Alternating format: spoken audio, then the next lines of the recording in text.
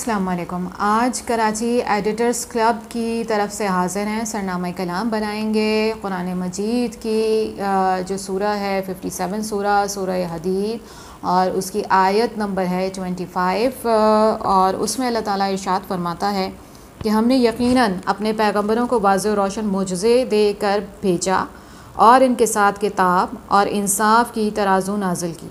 ताकि लोग इंसाफ पर कायम रहें और हम ही ने लोहे को नाजिल किया जिसके ज़रिए से सख्त लड़ाई और लोगों के बहुत से नफ़े की बातें हैं। और ताकि खुदा देख ले कि बे देखे भाले खुदा और इसके रसूलों की कौन मदद करता है। बेशक खुदा बहुत ज़बरदस्त गालिब है।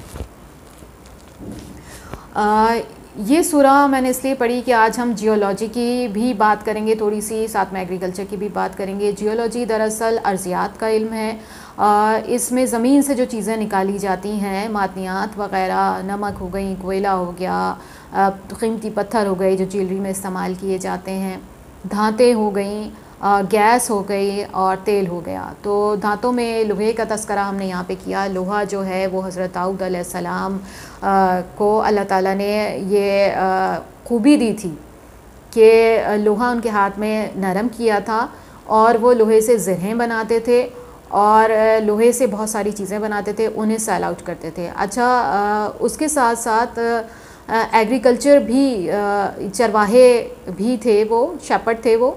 और डेविड के नाम से दूसरी जो होली बुक्स हैं उनके अंदर उनका तस्करा मौजूद है, प्रॉफिट डेविड के नाम से हज़रत दाऊद सलाम।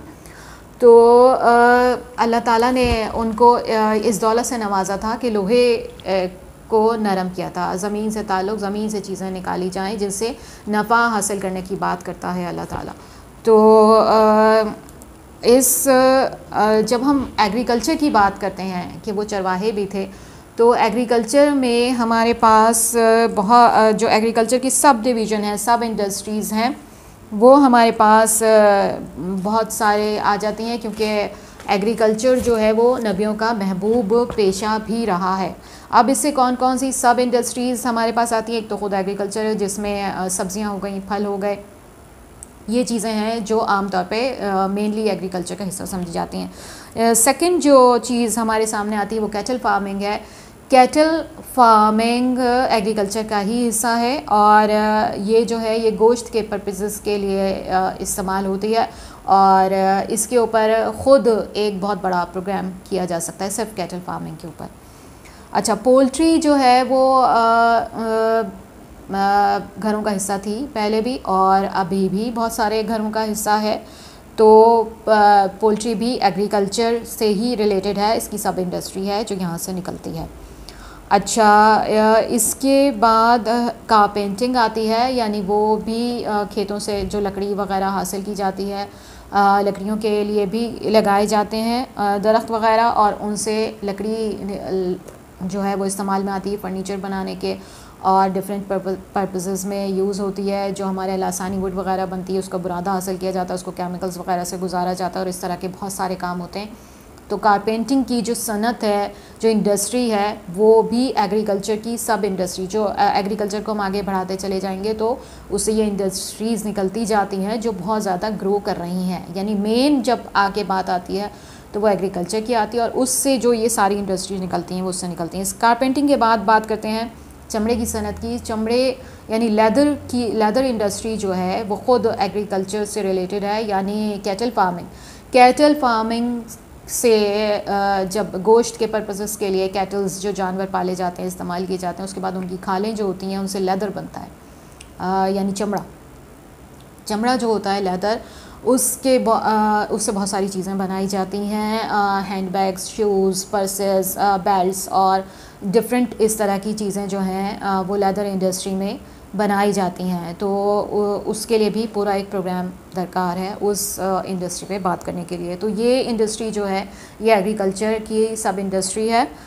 इसके बाद जो आती है वो फ़िशरीज़ हैं। फ़िशरीज़ भी नबियों का पेशा रहा है। कुरान मजीद में आयतें मौजूद हैं। हज़रत यूनुसम के ज़माने में भी तस्करा है और नबियों के ज़माने में भी मछलियों के पकड़ने का और डिफरेंट बातों का मछलियों से रिलेटेड तस्करे मौजूद हैं। हाँ अच्छा कपड़े की सनत जो है, वो कॉटन ज़ाहिर है कि एग्रीकल्चर का ही हिस्सा है। एग्रीकल्चर में कपास जो लगाई जाती है, कपास का पौधा होता है बाकायदा। और उससे उस रुई की तरह की होती है, उसको जो है धागा बनाया जाता है इंडस्ट्री में लाके और उस धागे से जो है वो कपड़ा बुना जाता है। कॉटन जो हमारी बनती है जो कॉटन के कपड़े हम लोग पहनते हैं तो वो कपास है बेसिकली जो खेतों में उगती है और उस कपास को जो है वो धागे की शक्ल और धागे के बाद कपड़े की शक्ल दी जाती है, फिर उसको प्रिंट वगैरह करके कॉटन जो है ये इस्तेमाल में जो हमारे और पाकिस्तान की कॉटन जो है वो बहुत अच्छी क्वालिटी की कॉटन होती है। और अगर ये इस तरफ़ तवज्जो दी जाए तो पाकिस्तान बहुत ज़्यादा नफ़ा हासिल कर सकता है इस कॉटन के शोबे में। जो पिछले दिनों करता था, बीच में कुछ ऐसे मसाइल आ गए कि, जिसकी वजह से वो ये सनत थोड़ी डाउन हो गई, लेकिन अगर फिर इस तरफ़ तवज्जो दी जाए तो इन पाकिस्तान पीछे नहीं रहेगा। जितनी पाकिस्तान के पास जो है वो पोटेंशियल जो है कॉटन प्रोड्यूस करने का, वो मौजूद है। तो ये एग्रीकल्चर से रिलेटेड सनत हो गई कॉटन इंडस्ट्री अच्छा कॉटन इंडस्ट्री के बाद जो है वो आ जाते हैं हम डेयरी फ़ार्मिंग के ऊपर। डेयरी फ़ार्मिंग जो है, ये ख़ुद जो है कैटल फ़ार्मिंग से रिलेटेड है, ज़ाहिर है कि दूध जो हासिल किया जाता है, वो बहुत बड़ी मकदार में हमारे पास स्टोरेज ना होने की वजह से ज़ाया हो जाता है। अगर उस दूध को हम सही स्टोरेज स्टोर करने के बाद पाउडर के दूध की शक्ल में चेंज कर लें या उसको इस तरह से पैक करके जो है वो बाहर पहुँचाने में कामयाब हो जाएँ इंटरनेशनल लोकल मार्केट्स में और इंटरनेशनल मार्केट में तो बहुत ज़्यादा मुनाफा कमाया जा सकता है। तो और दूध से बनी हुई दूसरी चीज़ें जो हैं, घी, मक्खन, तेल वगैरह जो जो इससे हैं, दही ये सारी चीज़ें जो हैं पनीर बनती है बहुत सारी चीज़ें दूसरे डेयरी फ़ार्मिंग में आ जाती हैं। तो ये जो डेयरी इंडस्ट्री है ये ज़ाहिर है कि कैटल फ़ार्मिंग की सब इंडस्ट्री है तो एग्रीकल्चर से रिलेटेड जो इस इंडस्ट्री को आगे बढ़ाते चले जाएँ तो ये तो आ, ये बातें आपने नोट की कि सिर्फ़ एग्रीकल्चर से रिलेटेड जो है वो कितनी इंडस्ट्रीज़ जो हैं वो वाबस्ता हैं। जो पूरी पाकिस्तान जिस पे बेस करता है अल्लाह ताला का ख़ास करम है हमारे ऊपर कि हमारी जो कंट्री है, वो एग्रीकल्चरल कंट्री है, हमारा जो एटमॉस्फेयर है, वो इसके लिए बहुत अच्छा है। एग्रीकल्चर के लिए अल्लाह ताला ने यहाँ पे जो धूप प्रोवाइड की, जो एटमॉस्फेयर प्रोवाइड किया चारों महीनों में उसमें ग्रोथ डिफरेंट डिफरेंट चीज़ों की की जा सकती है और उनसे मुनाफा कमाया जा सकता है। अच्छा जो पाकिस्तान में जो चीज़ें प्रोड्यूस हो रही हैं एग्रीकल्चर की, वो पुराने तरीक़े इस्तेमाल हो रहे हैं जो सदियों से चले आ रहे थे अम्बिया के ज़माने से जो तरीक़े चले आ रहे थे वही तरीक़े पाकिस्तान में इस्तेमाल हो रहे हैं। तो एक ज़माने तक तो ये समझा जाता रहा कि पाकिस्तान बहुत बैकवर्ड कंट्री है इस लिहाज से कि यहाँ पे वही पुराने तरीके इस्तेमाल हो रहे हैं जो अम्बिया के ज़माने में इस्तेमाल होते थे। आ, लेकिन आ, आज के दौर में ये पाकिस्तान के लिए एक बहुत ही प्लस पॉइंट है एक बेनिफिट है ये कोई नुकसान की बात नहीं है। क्योंकि पाकिस्तान जिन तरीक़ों से फ़ार्मिंग कर रहा है, उसको ऑर्गेनिक फ़ार्मिंग का नाम दिया गया है। इंटरनेशनल मार्केट में वहाँ पे सर्टिफिकेशंस हो रही हैं। क्यों? क्योंकि इंटरनेशनल मार्केट में मशीन्स आ गई थी, वहाँ जो चीज़ें प्रोड्यूस की जा रही थी वो सिंथेटिक तरीके से, यानी आर्टिफिशियली चीज़ें प्रोड्यूस की जा रही थी और उसके जो जब साइड इफ़ेक्ट्स उसके इस्तेमाल, उन चीज़ों के इस्तेमाल के बाद सामने आए तो बिल आखिर दुनिया ये मानने पर मजबूर हो गई। साइंटिस्ट और जो हेल्थ से रिलेटेड शोबे हैं वो ये मानने पर मजबूर हो गए कि अल्लाह ताला ने जो तरीक़ा बताया है प्रोड्यूस करने का, वो बेहतरीन तरीक़ा है इंसान की सेहत के लिए। और इस तरीक़े को उन्होंने ऑर्गेनिक मेथड्स का नाम दिया है। ऑर्गेनिक मेथड्स की सर्टिफिकेशंस होती हैं जहाँ पे अल्लाह ताला के मुकर करदा तरीक़ों के मुताबिक जो है वो अशिया प्रोड्यूस की जाती हैं और बड़े महँगे दामों उनकी डिमांड है इंटरनेशनल मार्केट में, क्योंकि ज़्यादातर जो कंट्रीज़ हैं वो सिंथेटिक तरीक़े से इस्तेमाल कर रही हैं और वो सस्ते दामों जो है वो लोगों तक पहुँचा रही हैं चीज़ें। मगर वही के साइड इफ़ेक्ट्स की वजह से लोग जो हैं वो प्रेफर कर रहे हैं ऑर्गेनिक चीज़ों को। तो ये पाकिस्तान के लिए एक अपॉर्चुनिटी के तौर पर ये बात सामने आई है। बहुत ही ज़बरदस्त बात है। पाकिस्तान के लिए बड़ी ही पॉजिटिव तो रह गया सर्टिफिकेशन हासिल करने का मसला तो उसके लिए थोड़ी सी कोशिश और मेहनत की ज़रूरत है कि वो सर्टिफिकेशन अगर पाकिस्तान हासिल कर ले तो उसके बाद चीज़ें तो वो ऑर्गेनिक मेथड्स पे ही बना रहा है जो प्रोड्यूस कर रहा है तो उसमें तो कोई प्रॉब्लम की बात नहीं। अच्छा आ, इसके बाद जो चीज़ है आ, वो है इरिगेशन इरिगेशन का जो एक मसला है पाकिस्तान में वो एक थोड़ा सा मसला ज़रूर मौजूद है कि पानी जो है वो पहुँचाया जाए खेतों तक। तो उसके लिए सोलर पैनल्स का इस्तेमाल किया जा रहा है, क्योंकि पाकिस्तान में अगर दूसरे तरीक़ों से जो बहुत ज़्यादा इन्वेस्ट करके, ख़र्चा करके पानी हासिल किया जाता है। उन सबसे बेहतर जो है वो सोलर पैनल्स को समझा जा रहा है, ये एक सस्ता ख़र्चा है, क्योंकि धूप पाकिस्तान में बेतहाशा होती है और उस धूप को इस्तेमाल करके अगर उससे जो है वो, उसके थ्रू जो है वो वेल्स ट्यूब वेल्स वगैरह लगाई जाए, उनको चलाया जाए और पानी खेतों तक पहुँचाया जाए। तो ये अच्छा जो लोकल जो बहुत सारे लोग हैं, जिनके पास बहुत सारी ज़मीनें हैं, वो इस तरफ़ तवज्जो नहीं देते कि अगर वो एग्रीकल्चर के यूज़ में ले आएँ। तो उनकी तवज्जो इस तरफ़ दिलाना चाहूँगी कि वो कोशिश करें वो कोशिश करें, वो थोड़ी सी इन्वेस्टमेंट कर सकते हैं और फाइनेंशियल इंस्टीट्यूशंस जो हैं वो भी उनकी हेल्प कर सकते हैं कि वो अपने पास जो ज़मीन है उनको वो एग्रीकल्चर के लिए यूज़ करें और एग्रीकल्चर के लिए यूज़ करेंगे तो अल्लाह ताला कभी भी उनको जो है वो नुकसान नहीं पहुंचाएगा। मतलब हमारी कंट्री इतनी अच्छी है, इसका एटमॉस्फेयर इतना अच्छा है कि अगर और उनको नो नॉलेजेबल जो फार्मर है, वो उनको बहुत आसानी से हाथ आ जाएगा आसपास से ही और हमारा जो फार्मर है, वो बहुत नॉलेजेबल फार्मर है हार्ड वर्किंग बहुत है और बहुत आसानी से मैसर आ जाता है। जबकि जो दूसरी कंट्रीज़ हैं, वहाँ के जो फार्मर्स हैं, वो पैसा बहुत ज़्यादा लेते हैं, यानी वो कॉस्टली बहुत पड़ते हैं, वो फार्मर्स जो हैं। जबकि हमारे अगर फार्मर जो है वो इतना ज़्यादा कॉस्टली नहीं पड़ता। वो एक बहुत ही फेवरेबल जो बात है रिसोर्स के हवाले से जो रिसोर्स हो, होती हैं किसी भी बिज़नेस के लिए चार रिसोर्स लैंड लेबर और मनी और मेथड्स वगैरह जो हैं ये जो रिसोर्स हैं इसमें लेबर जो है और लैंड तो आपके पास ऑलरेडी होगी और उस पर जो लेबर आपको मिलेगा वो कॉस्टली नहीं होगा तो ये एक बहुत ही पॉजिटिव बात है पाकिस्तानी पाकिस्तानियों के लिए और इनको जो नॉलेजेबल फार्मर है जो हार्ड वर्किंग भी होता है उसको थोड़ा सा इंसेंटिव देके थोड़ा मोटिवेट करने की ज़रूरत है और वो आपके लिए बहुत अच्छा काम करेगा।